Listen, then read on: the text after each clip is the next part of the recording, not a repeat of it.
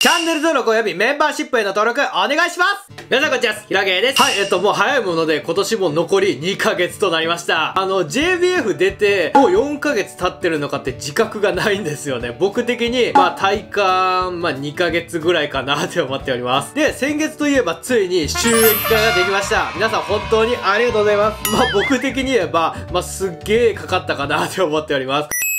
で、本日の動画なんですけど、あの、レゴと全く関係なくて、まあ、ほとんどお知らせみたいな感じです。知ってる方もいると思うんですけど、来月の下旬に私主催の徳島でレゴオフ会を開催します。あの、まあ、すごい内容になるんですけど、僕主催の徳島ブリックランド、なんと、JBF の運営スタッフの方が来てくれます。あの、何名参加するのかわかんないんですけど、JBF の運営スタッフの方が参加してくれますので、僕としては本当にありがたいと思っております。で、あとは四国のビルダーさんも多数参加してくれたり、四国以外のビルダーさんも参加してくれますので、参加ビルダーさんには本当に感謝しかありません。で、あともう一つお知らせがあって、えっ、ー、と、私広げ2年ぶりに質問コーナーを開催したいと思いますえっと、まあ、編集で載せておくんですけど、まあ、ほぼ2年ぶりの質問コーナーになっております。一応投稿や SNS で質問を受け付けていますので、たくさんの質問をお待ちしております。で、あの、ちょっと前のアンケートで、作ってほしい大型セットのリクエストをしたんですけど、今月はこのセットは絶対作りたいと思います。それがこちらはい、こちらのレゴスーパーマリオ、クッパ戦艦チャレンジです。はい、リクエストで最も票が多かったクッパ戦艦チャレンジを今月中に組み立てます。で、あとは僕的にこのクッパ戦艦以外に、こちらの銀河探検隊も作りたいと思います。こちらのセットは僕が2級建築士の製図試験が終わったら作ると言ってましたので、こちらも作りたいと思います。大型セットは作るのはすごいいいんですけど、あの、編集と撮影がめちゃくちゃ大変なので、もしかしたら週に1本になるかもしれません。あの、そこはちょっとご了承いただければと思います。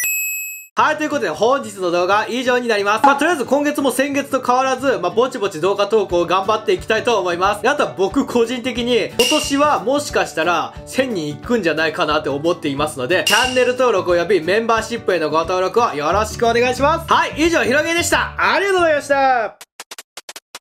はい、動画を最後まで見てくれてありがとうございます。僕のチャンネルに登録していただくと、最新の動画がいち早く見れます。チャンネル登録や熱い高評価、どうぞよろしくお願いします。それでは次の動画でお会いしましょう。ほななイェーイ